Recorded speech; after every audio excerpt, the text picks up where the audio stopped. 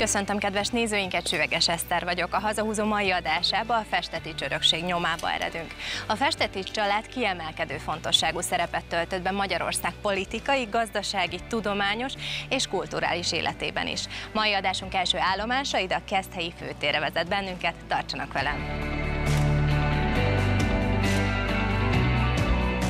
Ha Keszély és környékén járunk, nem nehéz a Festeti családhoz fűződő épületet vagy hozzájuk kapcsolódó helyszínt találni. De most talán kezdjük a város szívével, a főtérrel, ahol a kultúra, a történelem, az oktatás, a vallás, a művészetek és a gasztronómia egy helyen találkozik.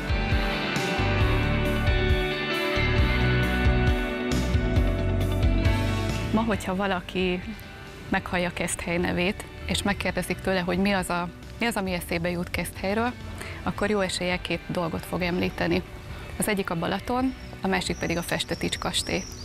Ugye a Balatont, hogyha egy kicsit tovább gondoljuk, akkor alapvetően a nyár, a fürdőzés, a Balaton kék színe és a gyönyörű táj az, ami leginkább eszünkbe jut, de hogy ez nem feltétlenül kötődik Keszthelyhez, vagy szorosan ehhez a vidékhez. Itt azért még van egy jó hosszú 200 km part. A Festetics kastély kapcsán viszont kibontakozik a Festetics család.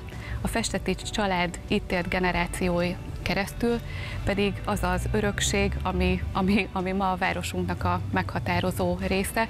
A Festetés család ugyanis abban a 200 évben, amíg itt élt, nagyon sokat tett a város, illetve a környék fejlődésért, hiszen a környék is az ő uradalmukhoz tartozott, és ezek meghatározzák ma is az itteni életünket. Gazdasági, társadalmi, oktatási, kulturális szempontból nagyon meghatározó volt a tevékenységük, és mindennek a gyümölcsét élvezhetjük ma is. Nagyon-nagyon sok helyszínen megtalálhatjuk a festetis családnak a különböző emlékeit, de ezek nem feltétlenül fizikai dolgok, ezek szellemi örökségek is, illetve események is több tekintetben. Ezeket mondhatjuk most összefoglaló néven festetics örökségnek.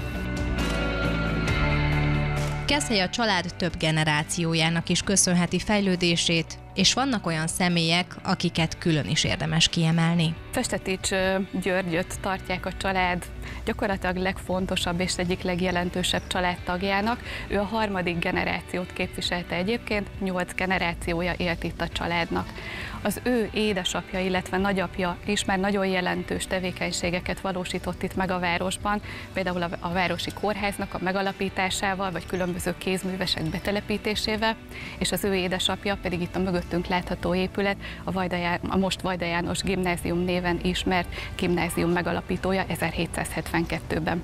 Az ő szobra, ő Festetés Györgyé többek között azért is van itt, mert ő az, az édesapja által alapított gimnáziumot továbbfejlesztette, négy osztályos hajóssá fejlesztette, illetve ez az a hely, ahol Festetis Györgynek korábban is már volt egy szobra, de nem ez egyébként, amit itt látunk. Az ő eredeti szobra a Festetis kastély parkjában található ma, ugyanis már az ő halála után felmerült az igény az, hogy, hogy jó lenne őt így a város közterején is megismerni a tevékenysége jelentősége kapcsán. Keszthely főtere tele van a Festeti család tagjaira utaló emlékkel, szobrokkal, templomtoronnyal, síremlékkel vagy éppen intézménnyel. Mögöttünk egy gimnázium található, és György szerepe az oktatásban kiemelt fontosságú. Miért? Azért, mert minek után ő a kat, egyébként katonai pályáját befejezte és visszajött ide helyre, akkor azt látta, hogy itt a családnak a, vagy, a vagyonain elég nagy adósságok vannak, de ami ennél is fontosabb volt, hogy nem igazán voltak szakemberek, akik ezt az óriási birtokot megfelelőképpen tudták volna igazgatni. Úgyhogy ezért egy nagyon jelentős ö, ö, oktatási intézmények alapításába kezdett. Többek között ő alapította a Város Zeneiskoláját, alapított rajziskolát, ö, továbbfejlesztette az édesapja által ö, létrehozott gimnáziumot, és a legfontosabb alapítása 1797-ben a Georgikon volt. Ez egy mezőgazdasági felső oktatási intézmény volt. Ebben a formában ez nem csak Magyarországon, hanem Európában is az első rendszeres mezőgazdasági felsőoktatási intézmény volt Magyarországon, és ahogy említettem Európában, és ez az iskola ez még ma is működik.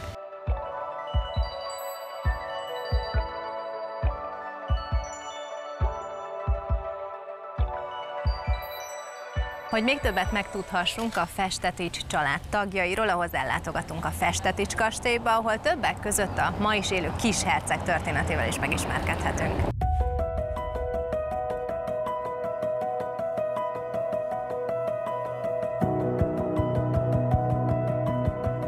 Festetics kastély Keszthely kiemelkedő jelentőségű műemléke. 1739-ben Festetics Kristóf vásárolta meg az akkori uradalmat itt Keszthelyen, és úgy döntött, ez lesz a birtokai központja. Festetics Kristóf kezdte el a kastély építését is, mely sok átalakításon esett át az évek során. Festetics Kristóftól, tehát a 18. század közepétől a 20. század közepéig, 1944-ig lakott itt a család, 8 generációja összesen. Általánosságban elmondható, hogy többségében életvitelszerűen laktak itt a kastélyban a festeti családtagok, tehát ezt tekintették otthonuknak. Ettől függetlenül ugye voltak máshol is palotáik, illetve rengeteget utaztak, teleltek, nyaraltak Európa különböző pontjain, de mindig idejöttek haza. Tehát például valamelyik Festetics lánynak a naplóját olvastam, és ő írja az egyik nyaralásról hazatérve, amikor a vonat ablakából meglátja Keszthelyt és a Keszthelyi hegységet, hogy mindenhol jó, de legjobb otthon. Tehát így álltak hozzá tulajdonképpen a családtagok a kastélyhoz. A kastélyban 20 termen keresztül ismerkedhetünk meg a festeti családdal, és azzal, hogy hogyan éltek a főurak a 18.-19. században. Összesen 101 helyiség található a kastélyban, és az én egyik kedvencem a következő szoba volt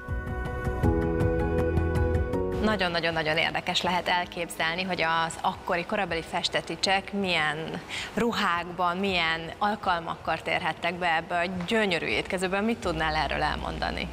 Ugye ez a Festetics kastélynak a díszebédlője volt, ez azt jelenti, hogy igazából csak különleges alkalmakkor étkeztek itt a családtagok. Ugye volt egy kisebb édlő is, ahol azt feltételezzük, hogy elköltötték a napi étkezéseket, viszont amikor egy híres vendég érkezett a kastélyba a Festeticsekhez, és ilyen volt bőven, akkor őt mindenképpen itt vendégelték meg a díszebédlőben, és hogyha valami nagyon komoly családi esemény volt, például valamelyik Festetics lánynak az esküvője, akkor előfordult, hogy az azutáni fogadást is itt tartották az ebédlőben.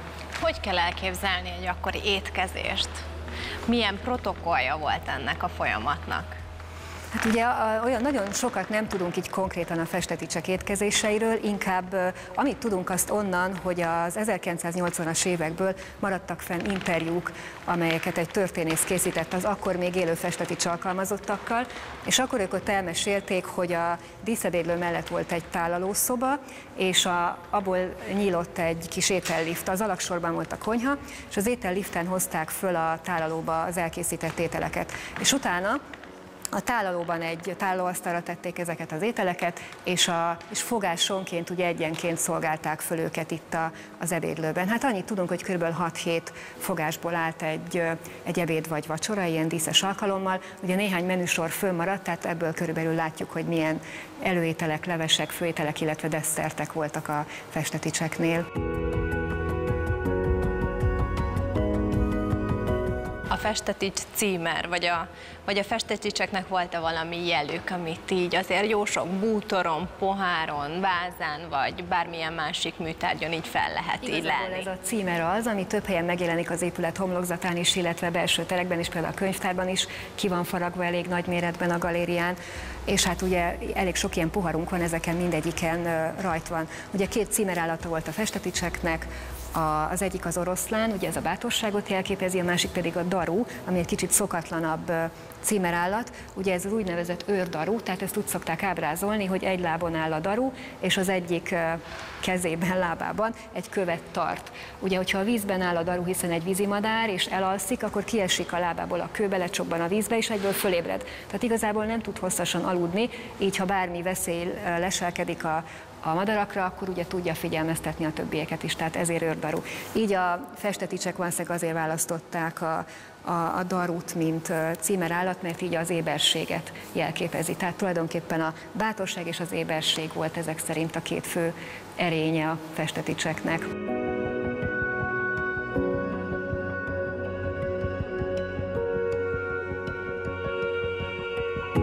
Nagyon különleges szobában vagyunk, hiszen egy olyan hercegnek a gyermekszobájában beszélgetünk éppen, aki ma is él.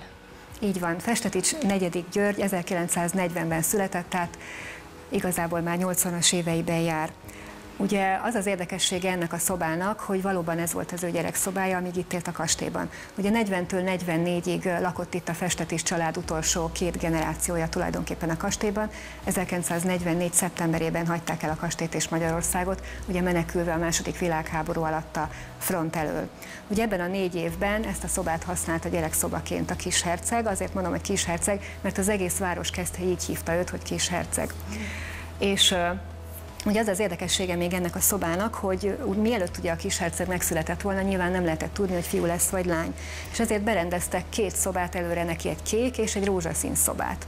És amikor megszületett, kiderült, hogy kisfiú, így a kék szobát kapta meg, viszont a mellettünk levő szoba a rózsaszín szoba, ez pedig aztán később majd az édesanyja foglalta el.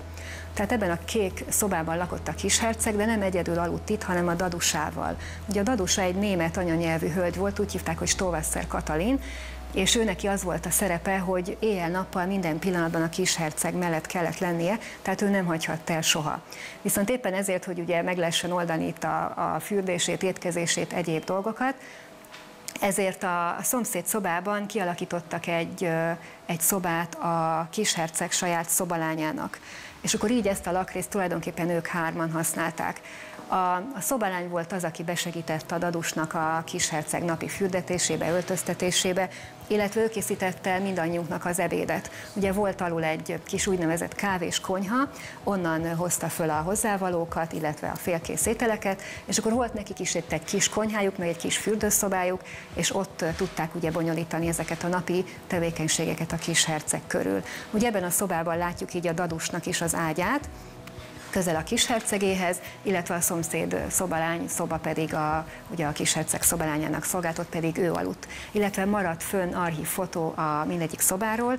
Tudjuk például, hogy amikor a kishercegnek születésnapja volt, és nagy gyerekzsúrt tartottak, azt a szobalány szobájába tartották, nyilván ott volt elég szabad oda bevittek nagyon nagy asztalt, rengeteg széket, és meghívták a, az uradalmi dolgozóknak a gyerekeit is, tehát a különböző tisztartók, kertészek, mindenféle alkalmazottaknak a gyerekei is együtt tudtak ünnepelni a kisherceggel.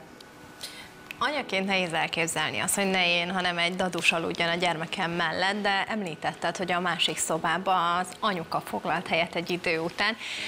Ez azért volt, hogy közelebb kerüljön a gyermekéhez, közelében tudja, ő milyen kapcsolatban volt vele, mikor látta. Nyilván a fürdetés, etetés részét nem ő végezte, de, de milyen kapcsolat alakult ki kettejük között? Igazából onnan kezdeném, hogy sajnos egy szomorú esemény volt az oka annak, hogy a, a kisherceg édesanyja ide költözött a rózsaszín szobába, ugyanis az ő férje, Festetics harmadik György 1941-ben meghalt. Tehát a kisherceg még egy éves sem volt, amikor elvesztette az édesapját. És ugye a kastély másik részében, az interior kiállítás másik részében volt a herceg úr és a hercegasszony hálószobája, és ugye azt feltételezzük, hogy miután a herceg úr meghalt, akkor a felesége ugye nem szeretett volna ott maradni egyedül abban a lakrészben, hanem ide költözött a kisherceg mellé a szomszédból, hogy ugye közel legyen a gyermekéhez. Ugye hát a, feljegyzések szerint nagyon szoros volt az édesanyja és a kisgyermek kapcsolata, tehát szeretett a anyuka is részt venni a fürdetésben és az egyéb tevékenységekben. Illetve ami érdekes még, hogy ugye ő lengyel és morva származású volt az édesanyja, tehát nagyon jól beszélt magyarul, de nem ez volt az anyanyelve. Ugye egyrészt a dadus német anyanyelvű volt, tehát fontos volt, hogy németül nagyon jól tudjon a gyerek, és a szobalány pedig mindenképpen magyar kellett, hogy legyen, és a szobalány volt az, akinek a régén, révén a kisherceg ugye a magyart is meg tudta tanulni anyanyelvi szinten. Tehát az édesanyja ugye szívesen beszélgetett a gyerekkel, csak nem akarta, hogy az ő rossz magyar akcentusát tanulja meg a gyerek, úgyhogy ezért ugye körülvette mindig olyan személyzettel, akitől ugye meg tudja tanulni anyanyelvi szinten a legfontosabb nyelveket. És később, amikor már Bécsben élt a kisherceg és az édesanyja, akkor is az édesanyja mindig gondoskodott arról, hogy legyen olyan, akivel magyarul tud beszélni a gyerek. Tehát herceg úr a mai napig nagyon jól tud magyarul, szerencsére, úgyhogy neki fontos volt ez, hogy, hogy a magyar anyanyelve az megmaradjon. Nem beszélhetünk Keszthelyről anélkül, hogy ne említenénk a csodálatos Balatont. Természetesen a festeti család ki is használta a tóban rejlő lehetőségeket. Kezdetben révindult Fenékpusztáról Balaton-Szentgyörgyre, azzal lehetett áthajózni. Később pedig már fejlesztésekre volt szükség.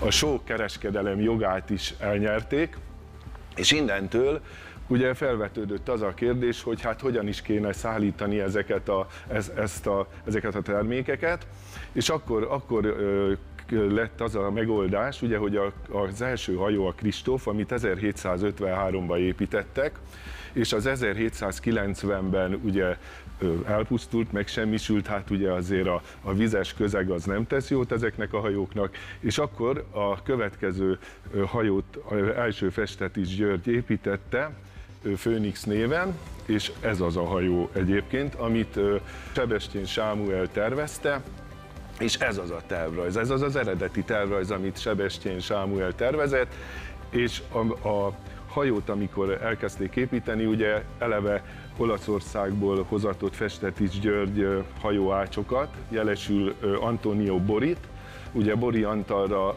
magyarosította ő később a nevét, ő családjával jött ide, elég hosszú ideig, sőt élete végéig itt volt, és ő építette a, a Festetis flottának az összes hajóit, aminek ugye a legjelesebb... Hány állt egyébként ez a flotta?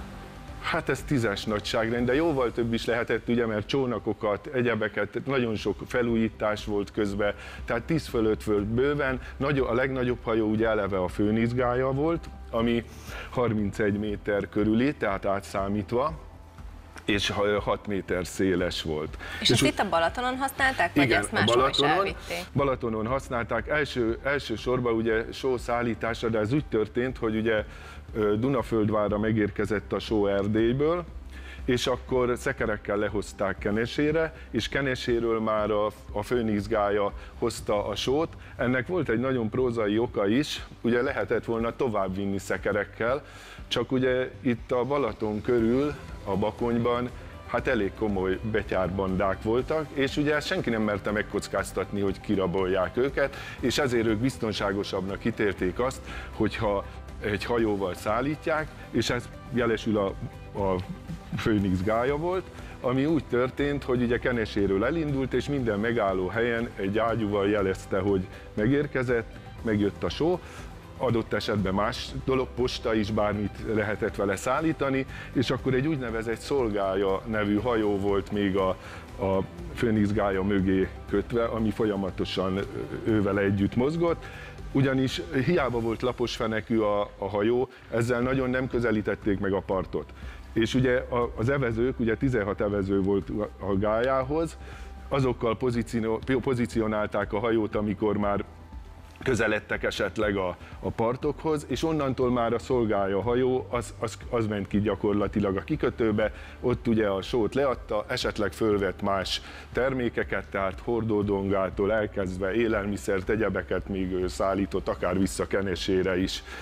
És ugye hát Keszthely fenékpuszta végállomás, és akkor ezt a járatot menetrendszerűen csinálta. Tehát mondhatjuk, hogy egy ilyen menetrendszerű járat volt abban az időben. A könyvtárban a rajzolat mellett egy makett is található, melyet maga Bíró Zoltán készített, hogy még élethűbb képet kapjunk a Főnix gájáról. A festeti család földbirtokos révén a hajózáson kívül földműveléssel és állattartással is foglalkozott. De hogy hogyan zajlott mindez, azt már a kastélyhoz tartozó fejűházban mesélték el nekem.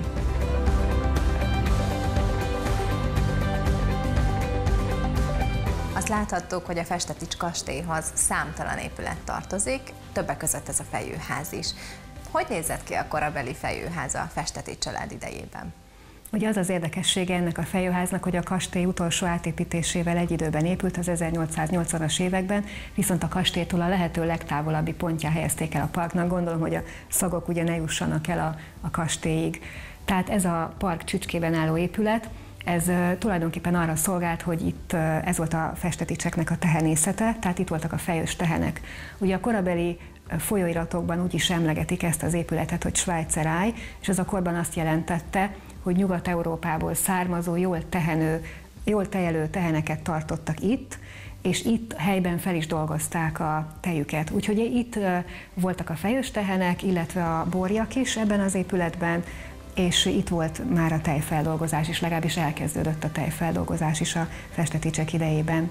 Milyen egyéb állattartással foglalkozott még a család, vagy inkább erre, erre szól? Hát ugye alapvetően a festeti csuradalomnak az alapját a növénytermesztés és az állattenyésztés adta, úgyhogy itt a, a kastélypark területén voltak még lovak is, ezek azonban csak azok a lovak voltak, amiket a mindennapi utazáshoz használtak közlekedéshez, tehát amiket a hintók elé fogtak be, vagy ugye hátas lovak. A versenylovakat fenékpusztán tenyésztette a család, illetve fenékpusztán voltak még szürke marhák például, és sertéskonda is, tehát igazából szinte minden a mezőgazdaságban megszokott állatot tenyésztettek a festeticsek. Akkor beszélgessünk még egy picit a fejőházról. Milyen munka zajlott itt a fejőház falaink között? Hát annyit tudunk a, az alaprajzról, az eredeti alaprajzáról az épületnek, ami a levéltárban van, hogy, hogy a fejőlányok fejték a, a teheneket. A fejőlányoknak volt egy külön szobája is itt. Látszik az alaprajzon, hogy még ágyak is voltak benne, tehát feltetőleg ezek olyan cselédszobák voltak, hogy ők akkor itt is tudtak aludni, hiszen ugye azért nagyon gyakran kellett fejni az állatokat. Aztán volt hűtőkamra, ugye nyilván ott tudták ugye hidegen tartani a tejet, volt valamiféle tejfeldolgozás is. Ugye ennek a részleteit nem tudjuk, de tudjuk, hogy volt konyha, tejkonyha, tehát nyilván ott zajlott ez a feldolgozás. Illetve hát volt takarmánykamra is, hát ugye ahol, ahol tárolták azokat, amiket ugye elfogyasztottak a tehenek. Menjünk, nézzük meg, hogy hol pihentek és hol dolgoztak a tehenek.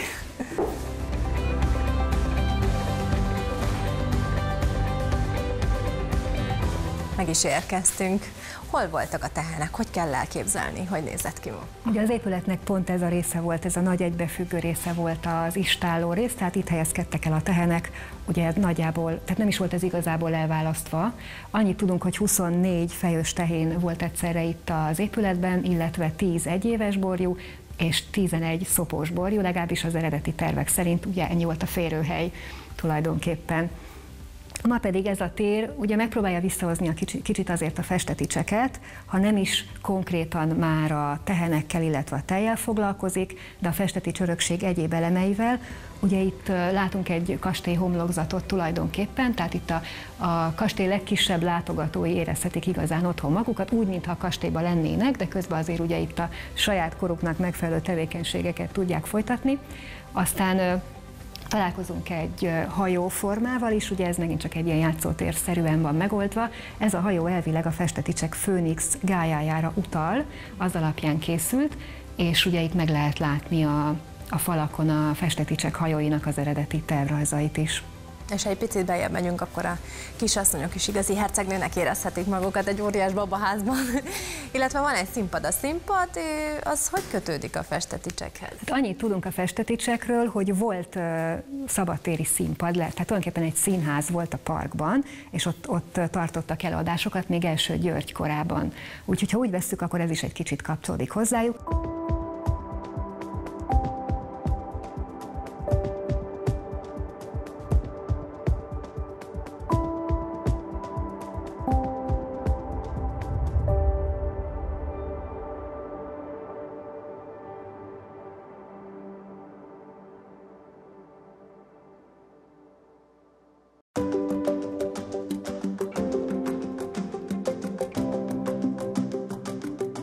Fejőház után jöjjenek velem, és nézzük meg együtt a fenékpusztai majorságot, ahol a festeti család egyik kedvenc elfoglaltságával, a lóversenyzéssel ismerkedhetünk meg közelebbről. A festeticsek fenékpusztai mínes birtoka a 19. században a magyar lótenyésztés és a magyar lovasport egyik legjelentősebb központjának számított. A majorság falain belül pedig a lótartás hagyományaival ismerkedhetünk meg.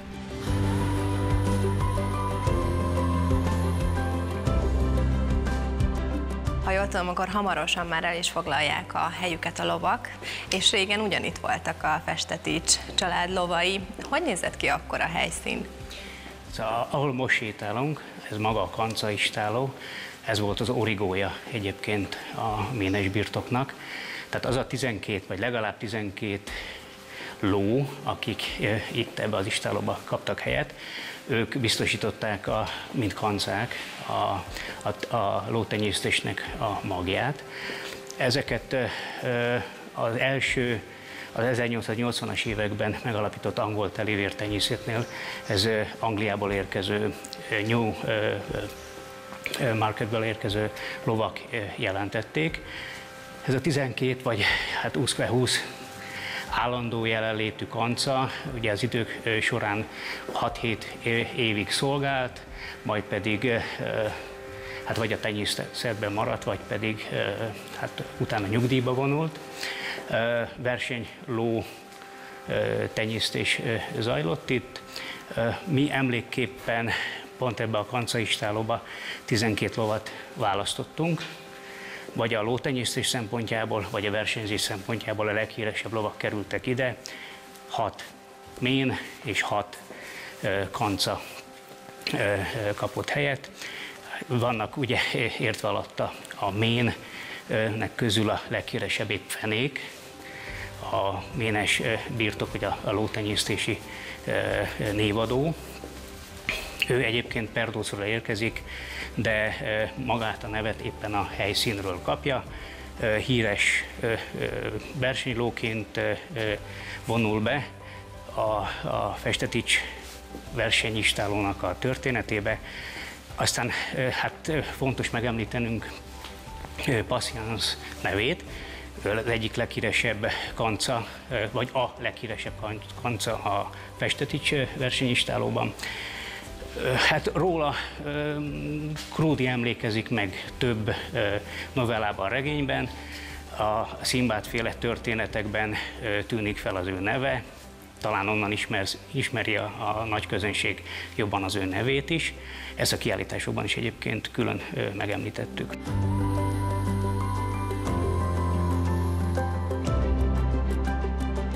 Most pedig besétálunk a Majorság központjába, lelkébe, a Kiskastélyba, ahol a festeti család itt tartózkodása alatt a legtöbb időt töltötte. Ahol most vagyunk, ez az a szoba, ami a Kiskastélynak az emeleti része.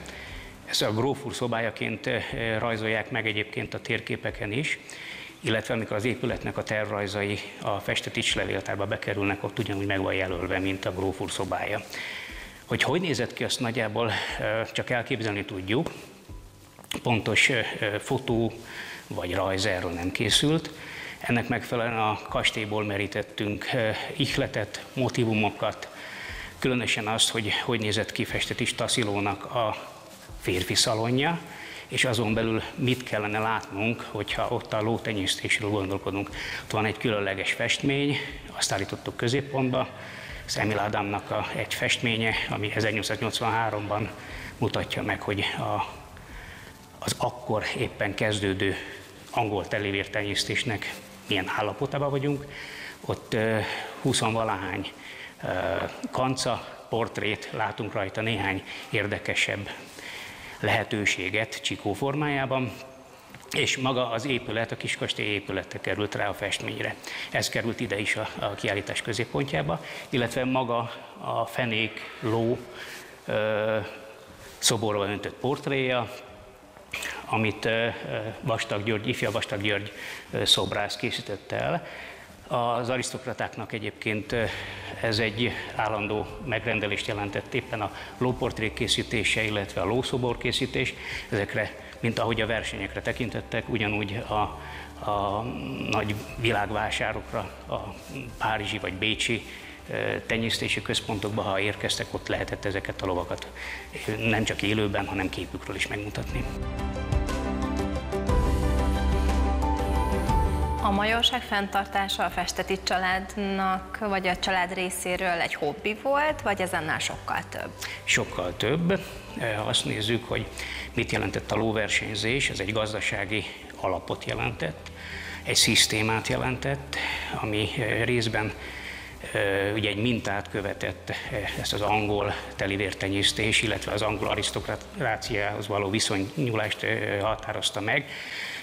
Egyébként pont a, a, a monarchián belül a magyar arisztokrácia képviselte azt a magas minőséget, ami tényleg összevethető volt az angol lótenyésztési minőségekkel. egy kicsit ez tört meg a, mondjuk azt nevezzük, hogy a 20. század közepén derekán, míg mondjuk akár ma Angliában ez a lótenyésztés, ez ugyanúgy egy magas minőségen tartott színvonalat jelent. Itt kelet-európai viszonylatban ez egy kicsit hátrébb szorult, talán lesznek mondjuk még igények, hogy ezt a lótenyésztést valamennyire magasabb színvonalra lehessen emelni. Lady Hamilton csak erősítette a lóversenyzés tradícióját, hiszen Angliából a Ladyvel együtt nemes lovak, szakemberek és tudás is érkezett, mely mind a majorság működését és fejlődését segítette elő. A borjú istállóban a lónevelésről tudhattam meg több mindent, interaktív elemek segítségével pedig közelebbről is megismerkedhettem a lovak születésével, felépítésével, tulajdonságaival, emellett pedig még egy korabeli lóvásárba is belecsöppentem, de egy majdnem lóversenyt is kipróbáltam.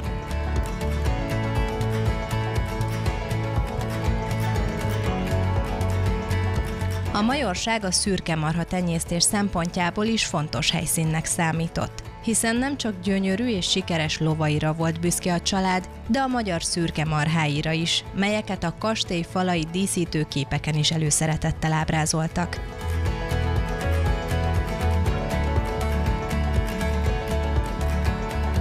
De kanyarodjunk vissza a lovakhoz, hiszen elérkeztünk ahhoz a részhez, ami miatt igazán megérte az a sok fáradtság, idő, energia és pénz, melyeket ezeknek a nemes állatoknak a nevelésébe és tartásába fektettek.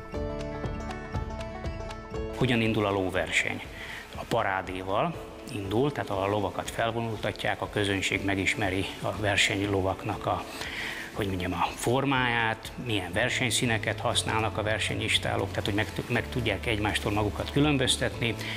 Aztán beszélünk itt a versenybírákról, 6-7 féle személy, aki e- betölti azt a szabály követő, tehát a szabályokat ugye, hogy betartassák, ennek megfelelően ugye a nevezéstől, gyakorlatilag a startpisztoly eldöntésétől kezdve a rajthoz való érkezésig, majd utána pedig megint egy mázsálással eldöntve, hogy a zsókék mondjuk, hogy milyen teherrel vitték végig a versenyt, és hogy szabályosan lefolytatták a, magát a, a, a futamot. Van is egy külön kiemelt portrénk is, itt kulcsképként Patience, Huxtable zsokéval a nyergében, akiről, magáról a lóról annyit kell tudnunk, hogy az egyik leghíresebb, vagy talán a leghíresebb festetics ló, akik, vagy aki a, a, az istáló hírnevét legjobban fényezte.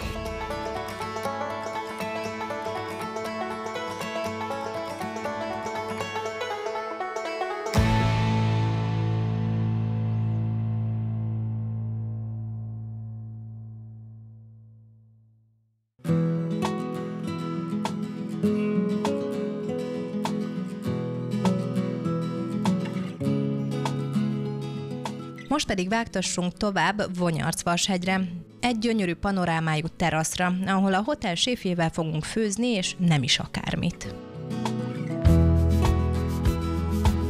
Csodálatos balatoni panoráma mellett fogjuk Ács István séfel elkészíteni a festetics menüt. Szervusz! Szia! Milyen ételekből áll a festetics menü? A festetics menü ö, több ételből fog összeállni. Az első, amit most szeretnék nektek megmutatni, az a saláta leves, vargányás fással. Ez egy nagyon finom nyárias, savanykás leves. Van még a kacsamájunk, ami az étlapon lesz kacsamáj málnazselével, kaláccsal, főételbe párolt szarvas, annaburgonyával, zöldbabbal, és lesz fogasfilé, így a Balatonparton, fogasfilé rákmártással, és grizgaluskával. Bár tudok főzni, de nem biztos, hogy olyan gyakorlott kuktád leszek, de mutasd meg, hogy milyen alapanyagokból dolgozzunk. Első körben feltesszük a levesnek az alapját. Annyit előkészültem mindennel, hogy az olajat már ide kimértem. Felhevítjük az olajat. Szólj, ha valamiben tudok jó, jó. segíteni. A vörös hagymát, hogyha ide emelnéd, azt, azt megköszönném. Köszönöm. Jó, vörös hagymát lepirítjuk. A festetics menü kapcsán az alapanyagok kiválasztásában volt valami szempont? Igen, ö, egy elég komoly hozzáértő gárda ö, kutatta ki, hogy annak idén a festeticsek mit ettek, mit szerettek. Ugye jellemző volt rájuk a francia konya is, ezért ö, nagyon jó séfekkel dolgoztak annak idején, és ami itt a környékben felelhető, abból, abból szinte mindenből készítettek ételt. Nagyon jó volt a kertészetük, a salátát ö, nagyon, nagyon szerették. A vargányagomba például az ételnél az erdőben ugye megtalálható volt. A szarvas nagyon jó a, a, a vadállomány itt a környéken, úgyhogy a szarvas is ö, adott volt.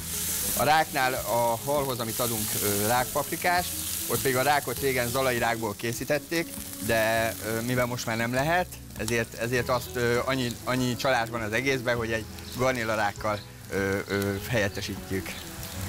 Ennek a térségnek van valami sajátos ízvilága?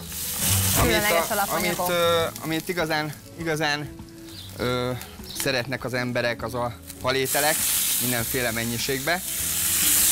Jó, a vöröshagymára most rádogtam a burgonyát, egy kicsit összepirítjuk. Amúgy nyugodtan rendelkezz velem, mondd, hogy mit adjak neked. Egy kicsit átpörgetjük.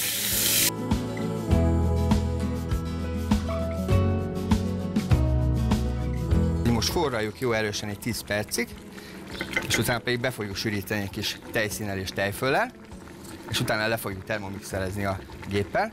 De közben még ez for, addig összeállítjuk a levesnek a betétjét, az pedig egy vargányás fás, amiről azt kell tudni, hogy lehűtött csirke mellett fogok kikeverni tojás fehérjével és tejszínnel,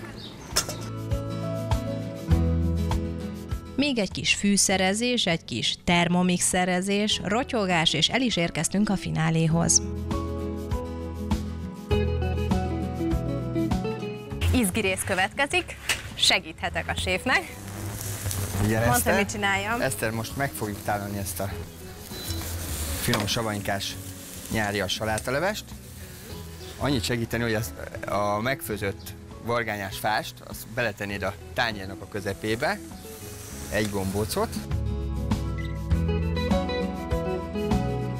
Most pedig következik az ominózum kóstolás.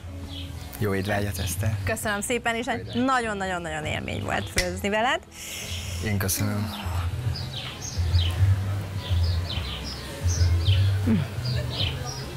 Mennyei. Örülök. Köszönöm szépen. Jó étvágyat. Ezt tényleg megkapom.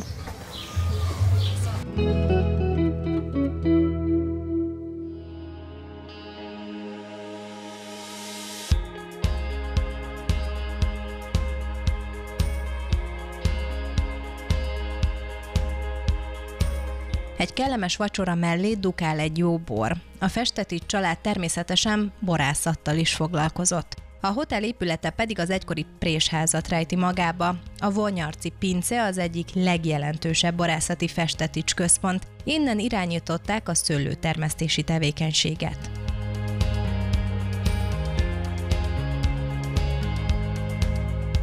Itt vagyunk a Festetics család egykori pincéjében, amit más néven tavernaként is emlegetnek. Ez miért van így? Hát ez a szószerkezet ez 1880-as évekből ered.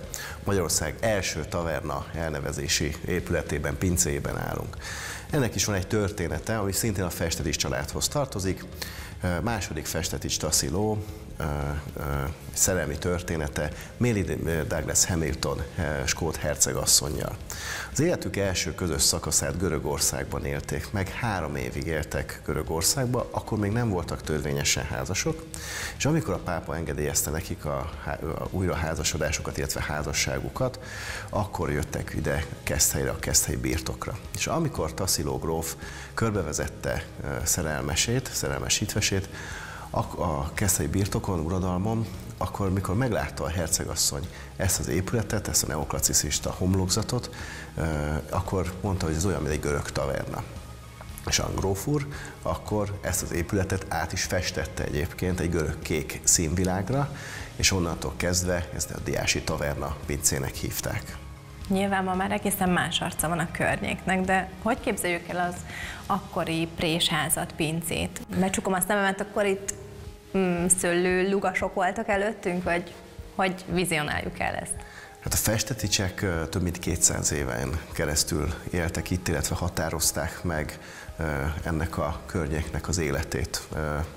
Körülbelül 220 négyzetkilométeres volt maga a festeticseknek a Keszthelyi uradalma.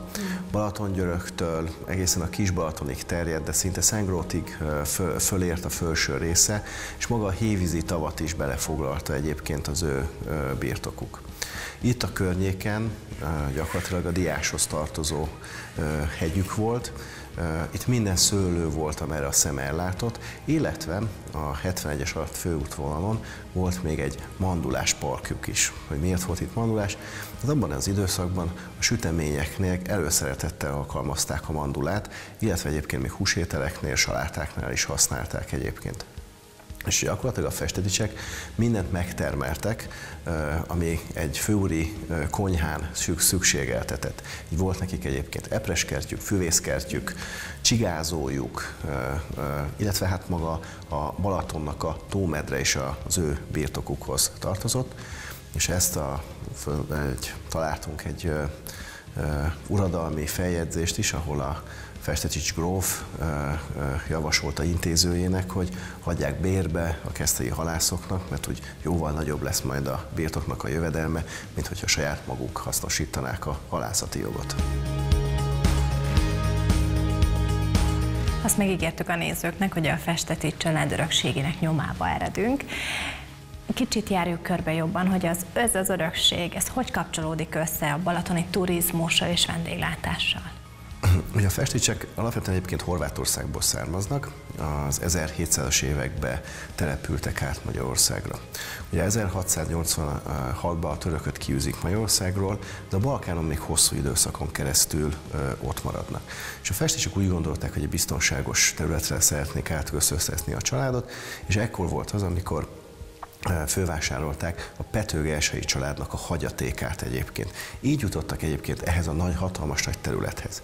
Ezt később Pál még gazdagította, aki Mária Teréziának pénzügyi, illetve magyar ügyekkel kapcsolatos főtanácsadója volt, és ettől az időszaktól mondhatjuk azt egyébként, hogy szinte minden településen megjelennek azok az épületek, azok a környezeti ö, ö, hagyatékok, akár a fasorokra, a festécsalléra, a gesztenyen fasoralléra gondolunk, amit a festiek hagytak itt. Ez a 200 év nagyban meghatározta az egész térségnek a hangulatát, illetve az egész térségnek az építészetét.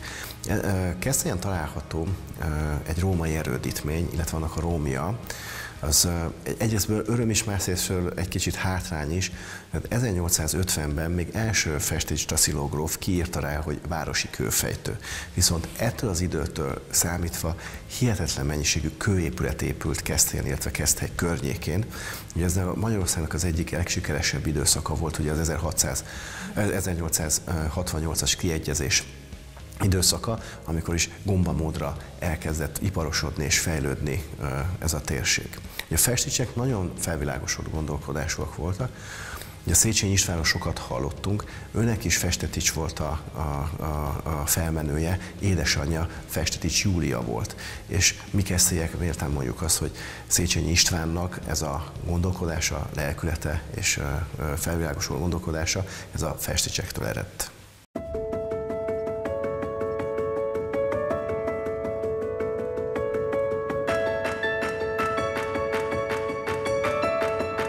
Egy élményekkel és izgalmakkal teli nap után nincs is jobb, mint megpihenni. Elárulom önöknek, hogy nem csak a mai részben találkozhatnak a festeticsek örökségével, hamarosan folytatjuk, éppen ezért nem is egy napot töltöttem a gyönyörű Balatonparti városban. Ezúttal a családom is velem tartott, akikkel stílszerűen itt a taverna fölött szálltunk meg. megnézzük a szobát? Igen, megnézzük a szobát! Futi! Wow! Hú, micsoda kilátás! Azt nézzétek, ott a Balaton! Nézzétek! Fantasztikus napokat töltöttünk itt, finomakat ettünk, jókat pancsoltunk, és a sok-sok izgalmas interjú és munka mellett még nekem is maradt időm egy kis kikapcsolódásra.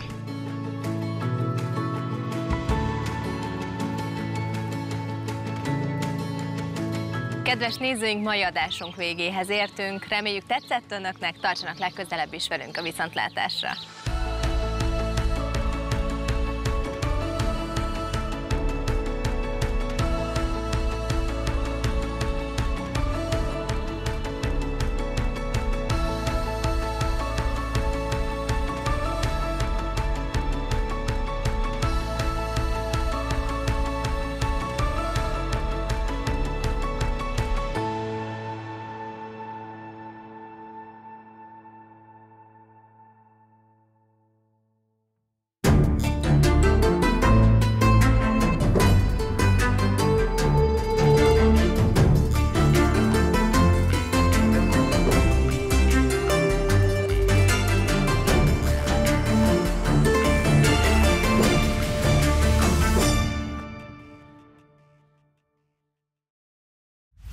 Műsor támogatója a Széchenyi Pihenőkártya.